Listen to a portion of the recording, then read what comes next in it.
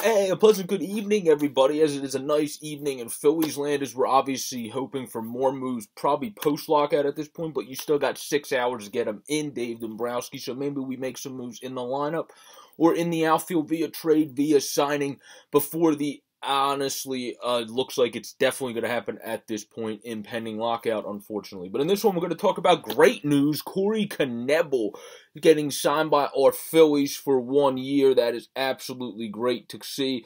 This dude's curveball uh, spin rate is ridiculous. His fastball spin is ridiculous, and his fastball velocity is ridiculous.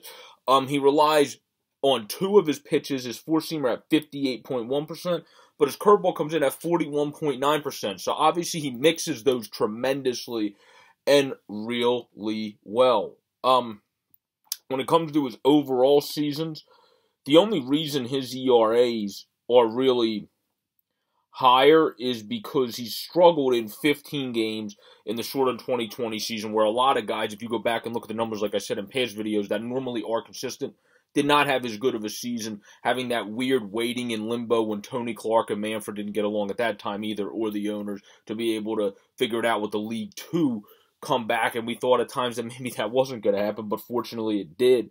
Um, he had a 608, and then the first year he had a 623 in eight games, and then he had a 468 in 35 games in 2016. Otherwise, though, he's always been in the threes, had a 178, which was his best in 2017, and then a 245 last year, which was his second best. So he's coming off of his second best season. His best was with the Brewers. Second best was, of course, with the LA Dodgers last year. And now we bring in a very good flamethrower, Corey Knebel, who when you look at his fastball velocity is 96% and his curveball is at 80 which obviously gives it that nice zip and sometimes also that slider esque if he throws it a little bit differently mixes up if you look at him some of the way he throws his curveballs at times maybe not to the full degree of a slider that might be a bad way to compare it but throws it a little bit more downward and then a little bit more side that's why I kind of compared it to a slider because he has that 80 degree velocity, which really gives it that zip and kick at the end of it, unlike other fastballs that you see around the league that are more in the 70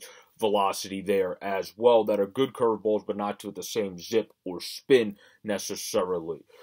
But I really like this move. Uh, I think picking up Corey Knebel was the most wise thing the Phillies did of the offseason this far because obviously the Philadelphia Phillies need as much help as they can get um, for the bullpen as well as just the overall roster. And it'll be interesting to see what Knebels do, does signing one year, ten million bucks here. Is he going to be the closer, or do we bring in like I talked about in other videos?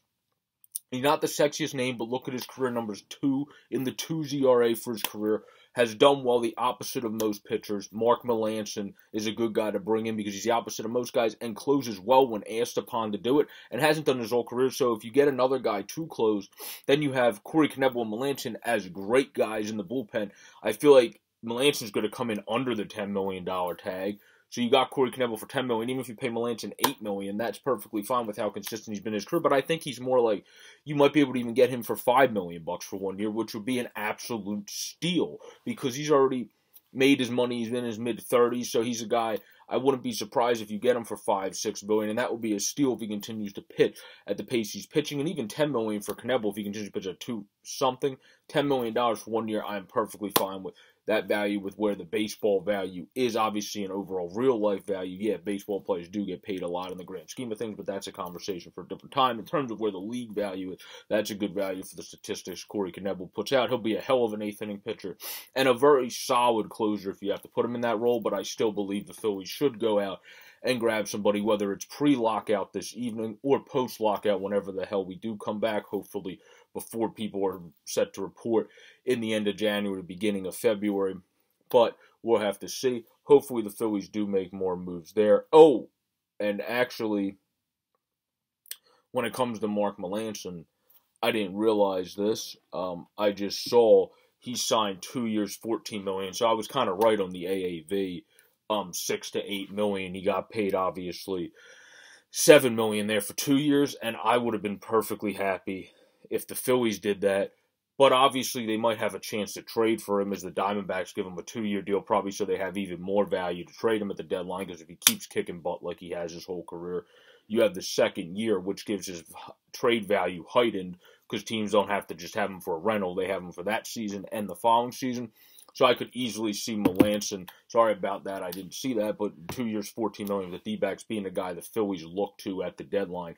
Only seven million bucks, obviously, for the following season, and then you would only be paying him half of that salary. Obviously, if you trade for him at that point at the deadline, you're not paying him the full salary. It might even be a little bit less than half. So that's a great guy to look for for the deadline. But of course, the D backs got him now, so that's not a guy available, and that sucks. Again, as the Phillies don't take advantage of another guy in the market, but they do take advantage of Corey Knebel, which is absolutely fantastic because this guy, a absolute fireballer out there with the fastball, and has the great, just ridiculous, like funk to the end of the curveball since it's at 80 miles per hour with a lot of jazz at the end of it there that is really hard to pick up. So this has been a video on the Phillies making their first big pickup of the offseason as hopefully more come in to talk about. So there's more positive news to talk about prior to the lockout. But we will have to see going forward in the next six hours as this video is being done around 6 o'clock p.m. Peace out, everybody. Stay safe. And as always, if you enjoy the content, please subscribe here and at Steel Flyers All Sports Network as well, which is Steel Flyers on YouTube for all sports, NHL, NFL, NBA and of course MLB content. And also type in Steel Flyers or Peerlo Dance or OTWH into Manscaped to get 20% off and free shipping. Peace out, everybody.